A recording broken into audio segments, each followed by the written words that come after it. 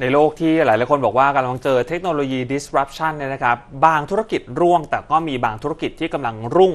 สูงขึ้นสูงขึ้นเรื่อยๆ เลยหนึ่งในนั้นก็คือธุรกิจดิจิทัลคอนเทนต์ครับ ยังมีแนวโน้มในการขยายตัวอย่างโดดเด่นเลยนะครับ เพราะว่าเทรนด์ของผู้บริโภคแล้วก็เทคโนโลยีที่มีการเปลี่ยนแปลงไป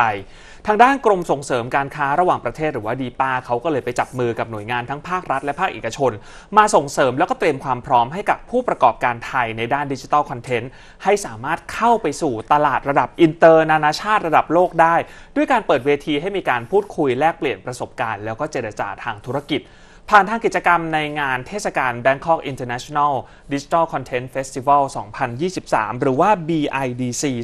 2023 เป็นครั้งที่ 10 นะครับ ในงานนี้เนี่ยจะมีทั้งการประชุมสัมมนาทางด้านอุตสาหกรรมดิจิทัลคอนเทนต์ระดับนานาชาติ เพื่อจะเตรียมความพร้อมให้กับผู้ประกอบการทางด้านนี้ของไทย ยกระดับสู่ตลาดระดับนานาชาติ ไปตั้งแต่ต้นน้ำเลยคือกระบวนการสร้างสารรค์ผลงานทำยังไงให้โดดเด่น ไปจนถึงเทคนิคในการจัดทำผลงานออกมาเพิ่มโอกาสในการรับงานระหว่างประเทศ แล้วก็การนำเสนอผลงานที่เป็นทรัพย์สินทางปัญญา และในงานจะมีการจัดเวทีเจรจาธุรกิจด้วยครับซึ่งทางด้านนางสาวนัทธิยาสุจินดา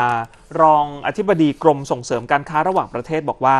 สำหรับอุตสาหกรรมดิจิทัลคอนเทนต์เนี่ยเป็นธุรกิจที่นำโอกาสมหาศาลมาสำหรับผู้ประกอบการไทย อย่างในปีที่ผ่านมาครับทางกรมส่งเสริมการค้าระหว่างประเทศก็ทำโครงการส่งเสริมดิจิทัลคอนเทนต์สู่ตลาดโลก มากถึง 8 โครงการสร้างมูลค่า 3,325 ล้านบาท ส่วนปีนี้เพิ่มเป็น 10 โครงการ ก็ตั้งเป้าจะสร้างมูลค่ามากกว่า 6,000 ล้านบาท